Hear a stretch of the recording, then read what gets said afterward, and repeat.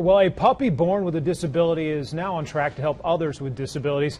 Like most puppies, Pirate was born with both of his eyes closed. His eyes eventually opened, but one never developed with an entire socket. Pirate had surgery earlier this week to remove his eye.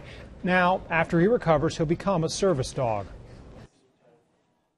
When we place our dogs that have slight disabilities and the children that come see them, and the kids have disabilities, and they see that this puppy with a disability grew up and became a service dog, which is such a cool thing to be, then they know that, you know what, I have a disability too, but I can grow up and I can do anything, um, just like Pirate.